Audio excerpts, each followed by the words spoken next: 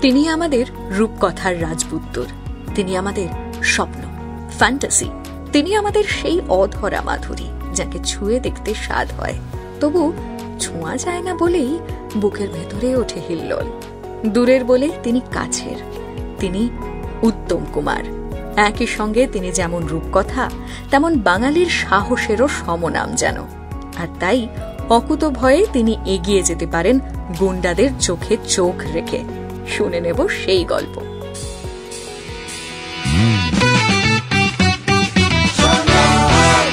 আপনি শুনছেন সংবাদ প্রতিদিন শোনো।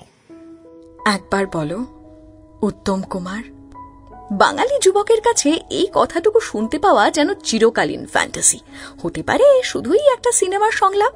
তবু যদি আমরা একে বাঙালি প্রেমিকের বুকের বাঁদিকে জেগে থাকা জাতীয় বাসনা কুসুম বলি তবে বোধহয় ভুল বলা হবে না।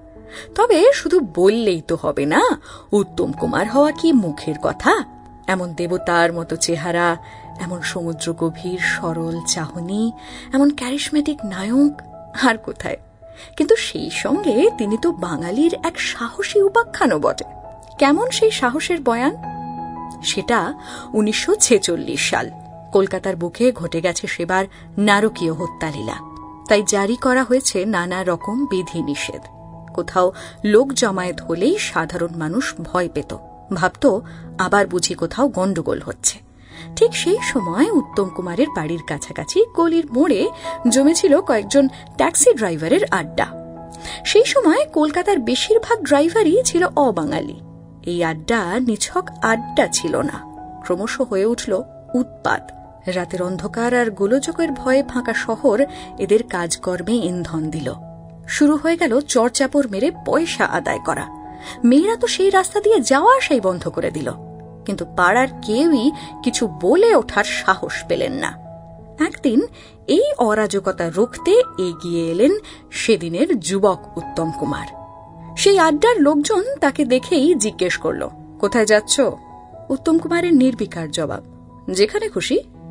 তখন তারা উত্তম কুমারের কাছে অভ্যেস মতো পাঁচ টাকা চেয়ে বসল। আর ঠিক সেই মুহূর্তেই সজোরে এক ঘা বসিয়ে দিলেন উত্তম কুমার, বললেন, এই নাও এই নাও। লেগে গেল জোর ঝামেলা। কাছে পিঠেই ছিল উত্তম কুমারের বন্ধুরা। উত্তম কুমারকে সামনে রেখে সবাই মিলে রুখে দাঁড়ালেন। একসময় ড্রাইভাররা পিট টান দিল এই ঘটনায়। সেদিন মাথা ফেটেছিল উত্তম কুমারের, কিন্তু পাড়ায় এরপর আর কোনো ঝামেলা হয়নি।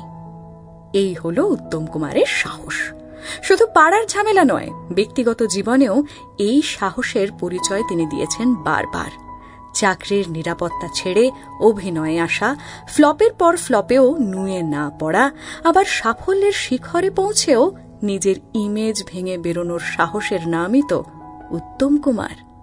নিজের আত্মজীবনীতে সেই সাহসের কথা লিখেও গিয়েছেন তিনি। যে সাহসের আখ্যান আজ রূপ কথা হয়ে ঢুকে পড়েছে বাঙালির আত্মচরিতেও। শুনতে থাকুন সংবাদ প্রতিদিন শোনো।